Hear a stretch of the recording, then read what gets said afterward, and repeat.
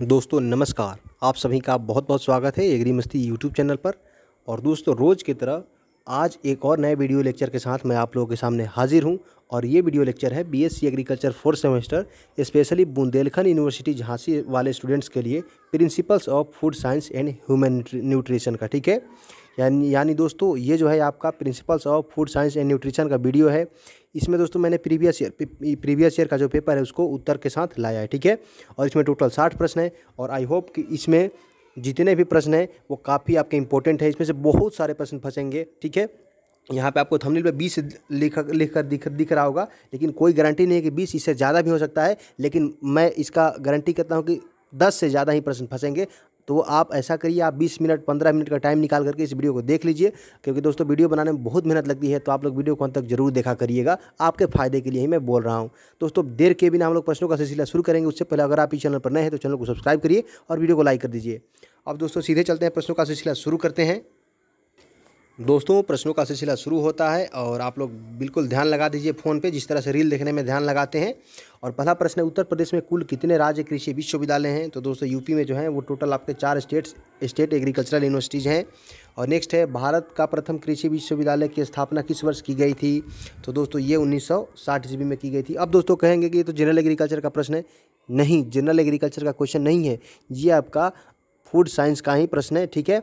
और आपके वीडियो में बहुत आगे जो है, बहुत सारे आपके आपके सिलेबस के प्रश्न मिलेंगे। ये भी, ये इस तरह के प्रश्न भी आपसे पूछे जा सकते हैं और मैं आपको दिखा दूँ कि ये भी है। फ़ूड साइंस का ही पेपर है, ये आप लोग देख सकते हैं, ठीक है? फ़ूड साइंस एंड न्यूट्रिशन का और इसमें इन सभी प्रश्नों को पूछा गया है और ये आपके सभी प्रश्न जो है, सिलेबस वाले प्रश्न हैं। तो बिल्कुल ये मत सोचिएगा कि मैं आपको जनरल एग्रीकल्चर का प्रश्न बता रहा हूँ। हम लोगों ने यहाँ तक कर लिया था कि भारत में सबसे पहले कृषि विश्वविद्यालय की स्थापना उन्नीस सौ साठ ईस्वी में हुआ था और नेक्स्ट आईसीआर स्थित है। तो दोस्तों, आईसीआर आपके दिल्ली में स्थित है। और नेक्स्ट देख लेते हैं नेक्स्ट है, राष्ट्रीय दुग्ध संस्थान सॉरी राष्ट्रीय दुग्ध अनुसंधान संस्थान, यानी National Dairy Research Institute India रही कहाँ है?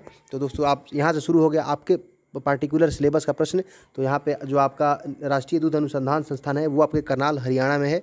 और नेक्स्ट है पीसीडीएफ का विस्तृत रूप है, यानी फुल फॉर्म ऑफ़ पीसीडीएफ तो दोस्तों पीसीडीएफ का फुल फॉर्म होता है आपका प्रदेशी कोऑपरेटिव डेयरी फेडरेशन ठीक है? प्रदेशी कोऑपरेटिव डेयरी फेडरेशन होता है किसका? पी का फुल फॉर्म।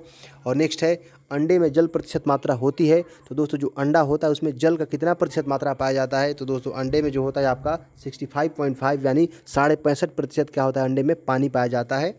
ठीक है? और नेक्स्ट है, आपका मुर्गी के अंडे का औसत वज़न लगभग होता है। तो दोस्तों, जो मुर्गी का अंडे का औसत वज़न होता है, वो आपका पचपन ग्राम होता है, ठीक है? यहाँ पे एवरेज पूछा जा रहा है तो एवरेज वेट क्या होता है मुर्गी का अंडा का? तो वो होता है फिफ्टी फाइव ग्राम, ठीक है? और दोस्तों नेक्स्ट है एंजाइम शब्द किस, किसने दिया? तो दोस्तों एंजाइम शब्द एक काफ़ी सुंदर प्रश्न है और इसको बार बार पूछा जाता है। और एंजाइम शब्द किसने दिया? तो ये कुहन नामक वैज्ञानिक के द्वारा दिया गया था। किसके द्वारा? कुहन नामक वैज्ञानिक के द्वारा। The word enzyme is coined by Kuhn. और नेक्स्ट है श्वेत क्रांति के जनक कौन है? तो दोस्तों, श्वेत क्रांति के पप्पा ये आपके डॉक्टर वर्गीज कुरियन जी हैं, ठीक है? फादर ऑफ़ वाइट रेवोल्यूशन कौन है? तो ये आपके वर्गीज कुरियन है। और नेक्स्ट है दोस्तों एक मार्क की स्थापना हुई तो दोस्तों, जो एक मार्क है आपको बता दें कि जितने भी खाद्य तेल, वेजिटेटिव ऑयल होते हैं, उन उनके लिए ये एक संस्था बनाया गया है जो कि मानक तय करता है कि आपके तेल में क्या होना चाहिए और इसका मुख्यालय नागपुर में स्थित है और इसकी स्थापना कब हुई थी दोस्तों? इसकी स्थापना यानी एक मार्ग का स्थापना सन उन्नीस सौ ईस्वी में, यानी नाइनटीन नाइनटीन में इसका स्थापना हुआ था एक मार्ग का। और नेक्स्ट है, नबार्ड की स्थापना हुई थी दोस्तों। नबार्ड जो है ये आपका नबार्ड जो है, ये इसका स्थापना कब हुआ था? तो ये उन्नीस सौ बिरासी ईस्वी में इसका स्थापना हुआ था कब? तो उन्नीस सौ बिरासी ईस्वी में नबार्ड का स्थापना हुआ था। और दोस्तों नेक्स्ट है, विश्व दूध दिवस आयोजित किया जाता है। यानी दोस्तों वर्ल्ड मिल्क डे किस दिन को मनाया जाता है? किस दिन को सेलिब्रेट किया जाता है? तो दोस्तों, विश्व दूध दिवस एक जून को मनाया जाता है, ठीक है? एक जून को हर साल क्या होता है? विश्व दूध दिवस के रूप में मनाया जाता है। और नेक्स्ट है, भोजन में किस तत्वों की कमी से बच्चे अंधेपन के शिकार होते हैं। तो दोस्तों, आपको पता है, विटामिन ए की कमी होने के चलते क्या होता है? विटामिन विटामिन ए की कमी होने से रतौंधी हो जाता है या फिर अंधेपन, आँख से संबंधित जितने भी बीमारी हैं, वो आपके विटामिन ए की कमी से होते हैं। तो आपसे रतौंधी पूछे या फिर अंधेपन का कारण पूछे, आप फटाक से उसमें टिक लगाना विटामिन ए ठीक है? क्योंकि दोस्तों, आँख से संबंधित जितने भी बीमारी है, ये मोस्टली आपके विटामिन ए के कमी से ही होते हैं। और नेक्स्ट है, आपका ऑपरेशन फ्लड किस वर्ष शुरू हुआ था? तो दोस्तों, Operation Flood was launch in the year तो ये 1970 यानी 1970 में ये ऑपरेशन फ्लड का शुरुआत हुआ था फ़र्स्ट स्टेज का। और नेक्स्ट है, राष्ट्रीय डेयरी विकास बोर्ड का स्थापना कब किया गया? National Dairy Development Board was establish, establishment established in तो दोस्तों ये आपका 1965 में यानी उन्नीस सौ पैंसठ ईस्वी में राष्ट्रीय डेयरी विकास बोर्ड की स्थापना किया गया था। और दोस्तों नेक्स्ट है, दूध में मीठा जमाव का कारण है तो दोस्तों दूध में जो है मधुरित जमाव किसके कारण होता है? तो ये बैसिलस सीरियस के कारण होता है, ठीक है? बैसिलस सीरियस सीरियस के कारण क्या होता है? स्वीट कडिंग इन मिल्क ठीक है? और नेक्स्ट है, आपका भारत का सबसे अधिक दूध उत्पादक राज्य है। तो दोस्तों, भारत का सबसे अधिक दूध उत्पादक राज्य कौन सा है? तो आपका उत्तर प्रदेश है, ठीक है? उत्तर प्रदेश में क्या है? ऑल ओवर इंडिया का बात करें तो जो यूपी स्टेट है, इसमें सबसे ज़्यादा मिल्क का प्रोडक्शन होता है। और नेक्स्ट देख लेते हैं दोस्तों नेक्स्ट है गड़बड़ विधि प्रयोग होती है। तो दोस्तों गड़बड़ विधि का प्रयोग किसके लिए करते हैं? नाम में गड़बड़ लिखा हुआ है, लेकिन एक्चुअली ये गड़बड़ चीज़ को ठीक करने के लिए इसका यूज़ किया जाता है और इसका यूज़ हम लोग वसा टेस्ट करने के लिए करते हैं, ठीक है? फैट टेस्ट करने के लिए गड़बड़ विधि का प्रयोग किया जाता है। आपने गया होगा कभी डेयरी पे तो देखा होगा, ये गोल चक्कर की तरह मशीन रखा हुआ होता है, उसमें हैंडल लगा होता है, उसको घुमाया जाता है ऐसे ऐसे करके, ऐसे ऐसे करके तो क्या होता है, वो गड़बड़ विधि का टेस्ट होता है और गड़बड़ विधि के द्वारा क्या किया जाता है फैट टेस्ट किया जाता है दूध में, ठीक है? और नेक्स्ट है विटामिन बी का विटामिन बी ट्वेल्व को खाली स्थान भी कहते हैं। तो दोस्तों विटामिन बी बारह को क्या कहते हैं? इसको साइनो कोबैलामीन कहते हैं, ठीक है? साइनो कोबैलामीन भी कह, कहते हैं किसको? विटामिन बी बारह को। और नेक्स्ट है जुगाली करने वाले पशु में वास्तविक आमाशय होता है। तो दोस्तों, जुगाली करने वाले जितने भी पशु होते हैं, उनमें वास्तविक आमाशय होता है वो एबो ओमेजम होता है। कैसा होता है? एब ओमेजम होता है, ठीक है? और नेक्स्ट देख लेते हैं दोस्तों नेक्स्ट है दूध में रजनीय किण्वन का कारण है। तो दोस्तों, दूध में जो होता है, ये रोपी फर्मेंटेशन किसके कारण होता है? तो ये होता है आपका एरो, एरोबेक्टर, एरोजिन्स के कारण। किसके कारण? एरोबेक्टर, एरोजिन्स के कारण क्या होता है? दूध में रजनीय किण्वन होता है। और नेक्स्ट है दूध का पीला रंग उत्पादन का कारण क्या है? तो दोस्तों, दूध में पीला रंग किसके कारण होता है? तो स्यूडोमोनास सिंथेंस सिंजेंथस के कारण होता है, ठीक है? स्यूडोमोनास ये आपका सिंजेंथस है, इसके कारण क्या होता है? दूध में पीला रंग, दूध उत्पादन में पीला रंग होता है। और नेक्स्ट है, एक लीटर घी का वज़न लगभग होता है तो दोस्तों, एक लीटर घी, यानी लीटर में, मिलीलीटर का बात करें, अगर एक मिलीलीटर में, यानी एक हज़ार एम घी है, उसका वज़न कितना होगा? उसको तोलने पे वज़न होता है वो साढ़े नौ सॉरी नौ सौ तीस ग्राम होता है, ठीक है? अगर एक हज़ार एम घी को तौला जाए मशीन पर वेट मशीन पे तो उसका जो वज़न होगा ग्राम में, वो होगा नौ सौ तीस ग्राम, ठीक है? और ये मान करके चलिए कि आप, ये जो होता है एमएल होता है और के होता है बिल्कुल सेम नहीं होता है इसमें कुछ अंतर होता है, जैसे आपको यहाँ पे देखने को मिला, अगर एक हज़ार एम यानी एक लीटर घी को तोला जाए तो वो नौ सौ तीस ग्राम ही होगा। और नेक्स्ट है, भैंस के सौ ग्राम दूध में कितने कैलोरी ऊर्जा प्राप्त होती है? तो दोस्तों, भैंस के सौ ग्राम दूध में सौ कैलोरी ऊर्जा प्राप्त होती है। कितना, जितना दूध होगा, उतना ऊर्जा प्राप्त, उतना कैलोरी ऊर्जा प्राप्त होगा। और नेक्स्ट है एनडीआरआई का स्थापना हुआ, यानी नेशनल डेयरी रिसर्च इंस्टीट्यूट का स्थापना कब हुआ दोस्तों? तो इसका स्थापना सन 1955 में, यानी उन्नीस सौ पचपन ईस्वी में हुआ। और ये कहाँ पे है? तो ये करनाल, हरियाणा में है, ठीक है? और नेक्स्ट है, दूध में वसा किस रूप में पाई जाती है? Fat in milk exist in the form of emulsion, यानी दूध में जो वसा होती है, वो पायस के रूप में पाई जाती है, ठीक है? और नेक्स्ट है, वसा में घुलनशील विटामिन है। तो दोस्तों, वसा में घुलनशील विटामिन कौन सी है? आपके सामने चार ऑप्शन है। और पेंटोथेनिक एसिड निकोटिनिक एसिड और स्कॉर्बिक एसिड और इसके नीचे है, उपयुक्त में से कोई नहीं। और यहाँ पे पूछा जा रहा है, वसा में घुलनशील तो वसा में घुलनशील विटामिन कौन सी है? तो आपका स्कॉर्बिक एसिड है, ठीक है? और नेक्स्ट देख लेते हैं दोस्तों अस्टियोमलेसिया रोग किस, किसकी कमी के कारण होता है? तो अस्टोमियो ओस्टिमियोलेसिया रोग जो होता है, वो आपका विटामिन डी के कारण होता है, ठीक है? ये रोग के नाम बहुत टेढ़े टेढ़े हैं, जितना खतरनाक रोग, उतना खतरनाक ही इसका नाम है। तो पढ़ने में थोड़ा गड़बड़ी हो जा रही है। लेकिन आपको भी दिख ही रहा होगा मोबाइल स्क्रीन पर साफ़ साफ़ तो आप भी एक बार पढ़ लीजिएगा, ठीक है?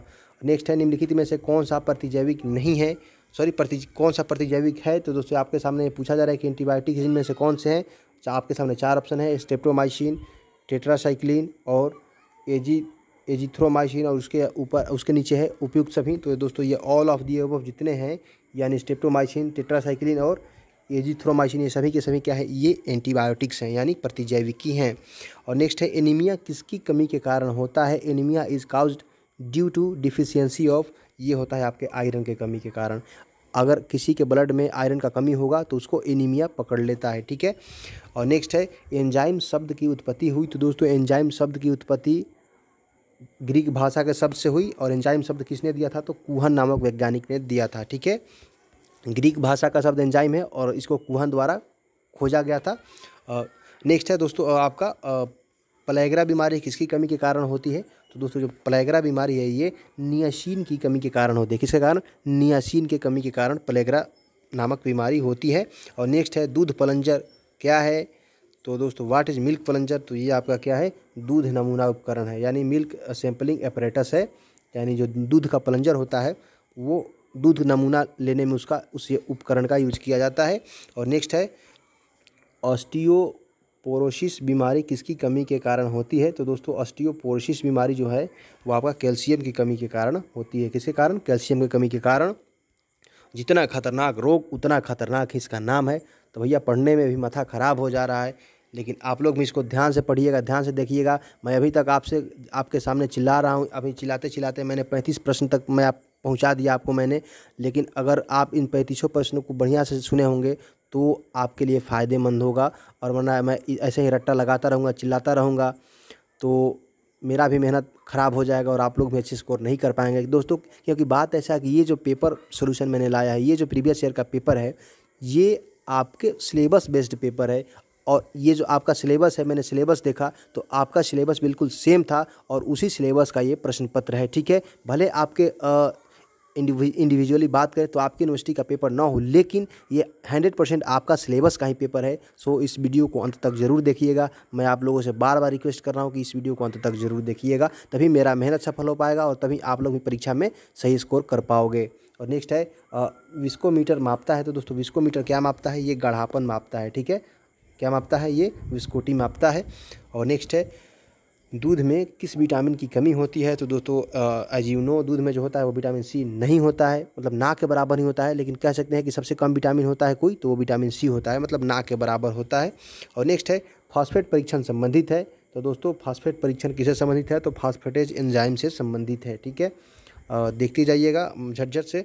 और नेक्स्ट है F S S A I का स्थापना हुआ, यानी Food Safety and Standard Authority of India जो है, इसकी स्थापना कब हुई? तो दोस्तों, इसकी स्थापना 2006 ईस्वी में हुआ था। ठीक है, कब? 2006 ईस्वी में। और नेक्स्ट है दोस्तों, आपका ताज़े गाय के दूध में अनुमाप पे अम्लता होता है। तो दोस्तों, ताज़े गाय में, गाय के दूध जो होता है, उसमें अम्लता कितना होता है? वो होता है zero point one four percent यानी ज़ीरो दशमलव एक चार प्रतिशत। गाय के ताज़े दूध में अम्लता होती है। कितना? ज़ीरो दशमलव एक चार प्रतिशत। ज़ीरो दशमलव एक चार प्रतिशत इसको रट लीजिए, इसको रट्टा मार लीजिए, ये प्रश्न पूछा जाता है हर बार।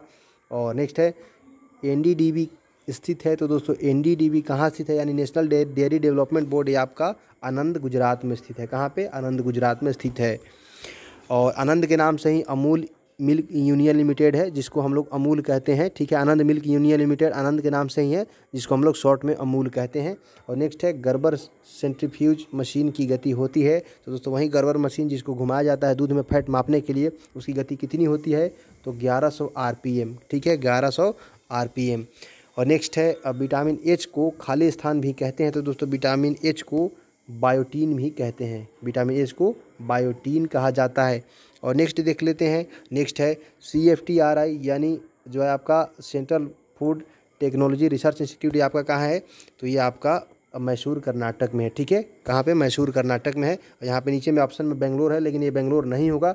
है ये भी कर्नाटक में ही, लेकिन पार्टिकुलरली जगह का बात करें तो आपका जो है C F T R I ये आपका बेंगलोर में नहीं है, ये मैसूर कर्नाटक में स्थित है।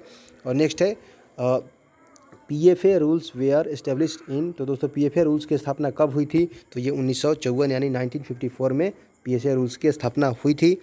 और नेक्स्ट है स्कर्बी बीमारी किसकी कमी के कारण होती है? तो दोस्तों स्कर्बी बीमारी जो होता है, वो विटामिन सी की कमी के कारण होता है। किसके कारण? विटामिन सी की कमी के कारण स्कर्बी बीमारी होता है। और आपको बता दें कि विटामिन सी को वैज्ञानिक भाषा में स्कर्बिक एसिड कहा जाता है, ठीक है? और नेक्स्ट है, आपका गाय के दूध मैंने शायद प्रश्न छोड़ दिया, नहीं, ये प्रश्न हो गया। और नेक्स्ट है फोर्टी सिक्स नंबर क्वेश्चन गाय के दूध का पीला रंग किसके कारण होता है? तो दोस्तों, गाय का जो दूध होता है, उसमें पीला रंग कैरोटीन के कारण होता है, ठीक है? और नेक्स्ट है, भैंस का दूध आपने देखा होगा, वो जो होता है, वो नीला टाइप का होता है, और वो क्या होता है? तो वो केसिन के कारण होता है, ठीक है? यहाँ पे तो बस दिया हुआ है गाय का दूध, लेकिन अगर आपसे गाय का पूछे तो कैरोटीन बताना, और भैंस का पूछे तो केसिन बताना, ठीक है? केसिन बताना, ऐसे वाला केसिन के कारण क्या होता है? भैंस का दूध नीला होता है।